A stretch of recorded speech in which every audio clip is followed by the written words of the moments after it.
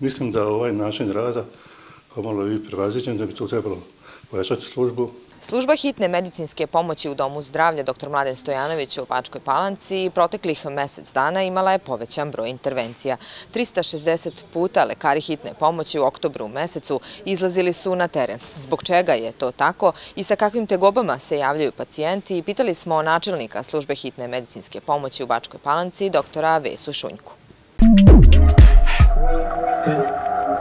Znamo da nam je jesen kalendarski stigla još u septembru, ali po vremenskim prilikama tek evo posljednjih nekoliko dana je hladnije, dakle bilo je izuzetno toplo. Da li i na koji način to utiče na zdravlje ljudi? Ima desetak mlade više godina kako ovaj vremenske prilike su izmenjene, više kao da i nemamo više četirigodišnja doba, nego dva prelazi zime u ljeto, znači imamo relativno hladnu zimu bez snijega, dugu motane do maja, onda nastupaju velike vrućine, što se normalno ljudi ovaj, ne mogu ne mogu da, da podnesu.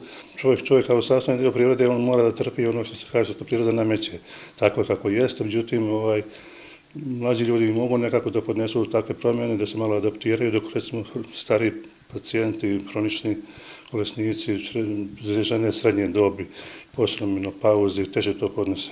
Tako mogu biti različite.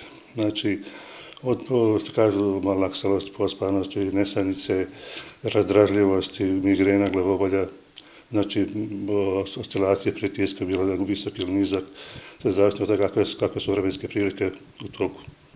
Pacijenti se, da kažu, nekako ovaj, po navici, prvo rano obraćaju. Znači, na 194 i ovaj, pritisak se vrši na našu službu, mi pokušavamo koliko toliko da rešimo koliko možemo, bar oni najizbiljniji slučajeva, posebno koji su vezani za kardiovaskularne bolesti i plućne hronične bolesti. Dosta je posle vreme, posle možda kod niko dvije, ovaj, povećan broj moždanih udara tipa infarkta, znači, znači tromboze, gore krvnih sudova mozga, čak to više možda nego, nego srčanih udara. Bilo je problema ovaj, inače ovaj, da organizujemo službu, bilo je bolovanje zbog korone i onda smo, ekipe su morali da rade, da kažu, sa svaljenim intenzitetom. Bila je možda jedna ekipa radila dnevnu smjenu, a noć smo krivali dvije ekipe. Tako da je bilo puno posla korone iskomplikovali inače komplikovanu situaciju. Mi smo se trudili koliko možemo, sad smo negdje tu u nekom fit stanju, imamo dovoljno broj lekara, ovaj, s tim da imamo dosta neiskorištenih godišnjih odmora. Tiče ovaj, poziva, kažem, najviše se kaže, žele na, ovaj, recimo, puno ima tih stresnih situacija, ovaj, razdražljivosti. Tu nastavimo da riješimo stvari ako niste preko telefona, ne možemo izaći na sve terene, da damo neke savjete, da se smire, da se izoluju, da ne ulaze u neke ovaj, verbalne duele u kući, na poslu, da ovaj, najbolje bilo da to kažu, uzmu odmor, da odu ovaj, negdje da kažu da se povuku, to, to ne prođe to to, to, to, kažu, to, ovaj, to, to što je snašlo. Ova, mada kažem, moramo nekad izlaziti i davati neku terapiju, naglašavati da redano uzmaju svoju terapiju, ne po potrebi, kako oni kažu, nekada po potrebi, ovaj, samo, aj, aj, kako ćemo znati kad je potreba, jel? Kad se nešto iskomplikuje, neki ekces se desi zdravstveni, onda je kasno uzmati terapiju. Dosta ima tu generacijne prosvećenosti, ljudi su većinom skloni da, da mi rešamo sve te probleme. Ova, međutim, to je teoretski nemoguće. Znači, moraju da prate, ovaj, da prate što kažu, ima informacije, ima što kažu internet, televizija, znači ovaj, mora informacija gdje mogu da saznaju kako da reaguju.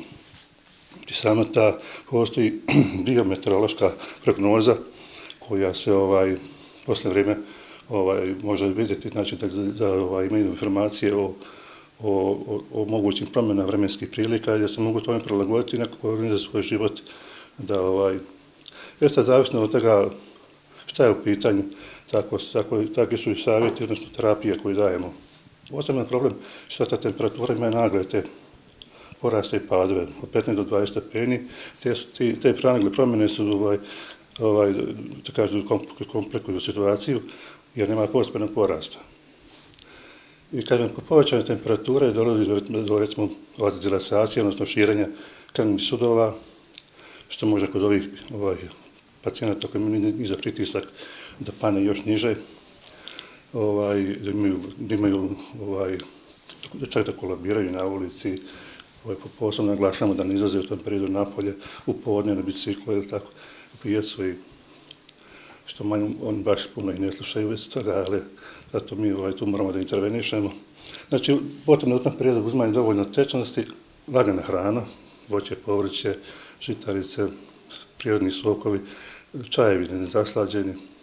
I kažem, mir neki da se to nađe, da se to, da se to sredi. U protivnom, znači, može doći tako do srčanja udara, moždanje udara, jer ovaj, dolazi do zgušnjavanja krvi i može doći do tromboze, ovaj, što smo dosta imali u periodu. Kod ovaj, niske temperatura, znači, dolazi do ovaj, kontrakcije krvnih sudova periferni i rasta pritiska. Znači, znači povećanog otpora, perifernog otpora, kod krva prolazi, znači, kroz te naj, najuže krvne sudove, sada malo, malo medicine, ali i ovaj, raste, raste pritisak. Može doći do, do tegoba unutargrudnog koša, bolova, angine pectoris, čak do infarkta, ovaj, vrtoglavica, močnina, glavobolja, sve to što ide sa povećanjem pritiskom.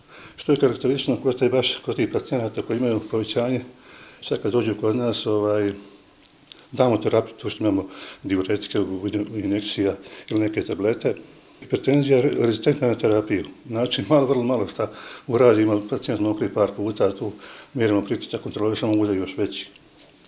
Kada je u pitanju opština Bačka Palanka, rad službe hitne medicinske pomoći je specifičan u odnosu na možda sve ostale i gradove opštine u Srbiji. Da biste stigli do pacijenata u Neštinu i Viziću, prelazite granične prelaze? Jeste.